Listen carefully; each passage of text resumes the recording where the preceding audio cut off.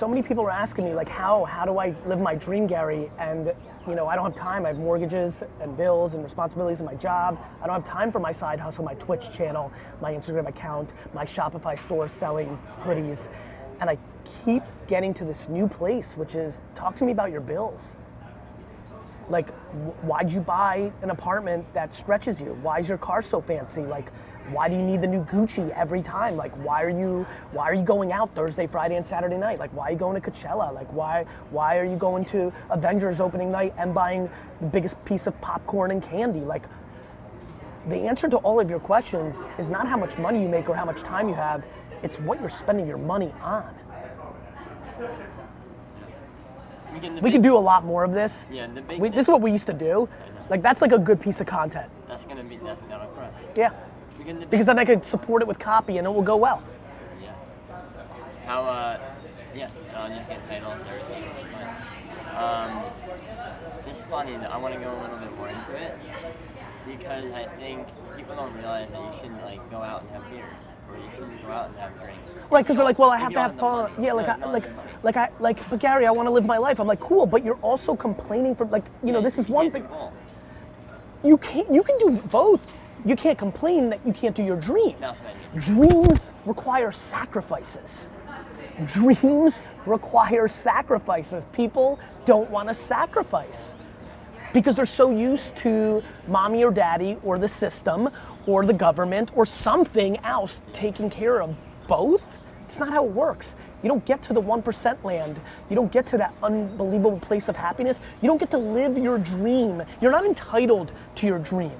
You have to fucking bleed for your fucking dream. You're not entitled to your dream. You're not entitled. Nobody's entitled to be a, an amazing dancer. Nobody that, that tours the world and gets to dance and open for Beyonce and make 580 a year and fucking live it and go to fucking, you know, you know, Monaco on the fucking weekends. Like, it's not how it works. Everybody starts at zero. Some people start at different places, but anybody who does it for themselves has to sacrifice. Like, yes, like move. Like my city's expensive. Move. Like my car payments are high. Sell your car and buy a piece of shit car. Take the bus. This is dreams we're talking about. We're talking about dreams. We're talking about like I want to be a professional gamer. We're talking about I want to get paid $200,000 to give a speech. We're talking about shit that isn't normal. And everyone just to be in, and like, I want that. Yeah, I want to be like you, Gary. I'm like, cool. Like sacrifice 30 years. What's interesting is FOMO, uh, self-esteem, lack of self-esteem. Of course, FOMO is lack of self-esteem. You want what somebody else has without understanding what it took for them to get there, or you get angry. You get angry at like, oh, that kid's at Coachella because his mommy and daddy are paying for it, and you get resentful. But what you don't understand is that kid is also super insecure and knows that no matter what they accomplish in life, they're going to be judged for it. You should be happy that your parents can't send you to Coachella, and if you want to go to Coachella, go to fucking thrift stores and flip shit and sell on eBay and fucking have a side hustle while you're at school or while you have a job. Like, it's ju- it's it's it's one big framework, D-Rock, of like of self-esteem, lack of self-esteem slash insecurity, entitlement or accountability. It's these huge things. Like some reason, DNA, parenting, circumstance, I'm on the extreme end of everything's my fault. Nobody owes me shit. I shouldn't get anything unless I bleed for it. And you think that was your dad? I think that was my mom and my dad. Oh, Both. I don't complain because they came from a place where fucking you go to jail for being Jewish in Russia. You, you know, so how am I going to complain about not having Nintendo when my parents' toilets were outside? But some people grow up with those hardships and they're they they get sad. They're like they feel like somebody owes them something. Like I'm from the hood, like the world owes me something. Yes, in theory, but like in theory, Doesn't like, play out in I feel life. like a lot of the conversations come from their parents Of course. Like, your older sister says you Yeah. the world sucks and you're owed something. Yeah. Your parents are a hundred percent. Like that's why I never stereotype because it's family by family. There's immigrants that come to this country and feel like the government should take care of them. There's immigrants that come to this country and think they should give back to the country.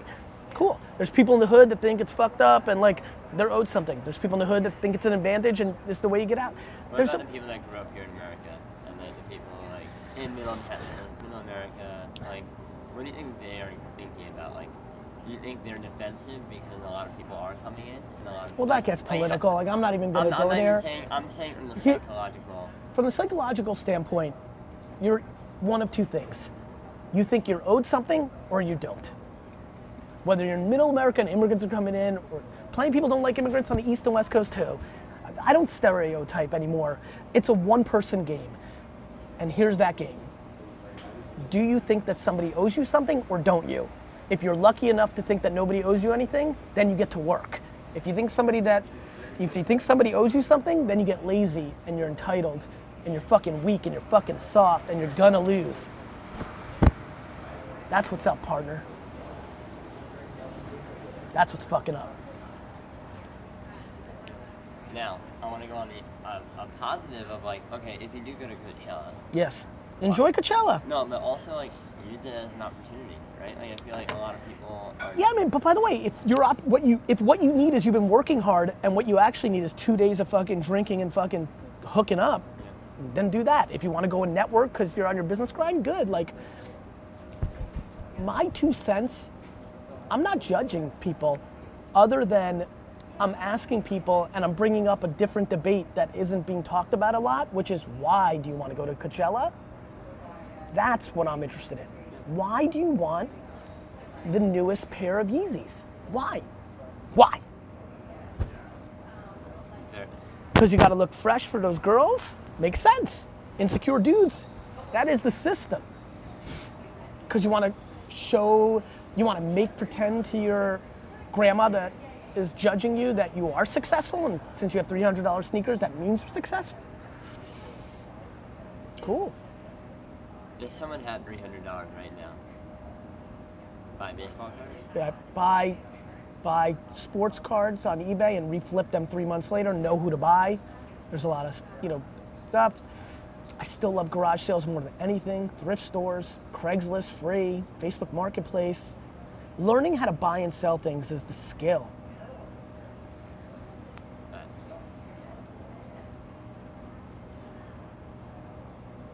I think you should run this whole thing straight as a piece of content from beginning to end. Even when like I felt good about that one piece of content, and then we kept talking. Yeah. Let's just put this up straight. Uh, seven minutes and forty-one seconds. let's put this up straight on Facebook and YouTube, but then let's chop it as well. I want people to see the process of how we think, how we interact. I don't want any context lost.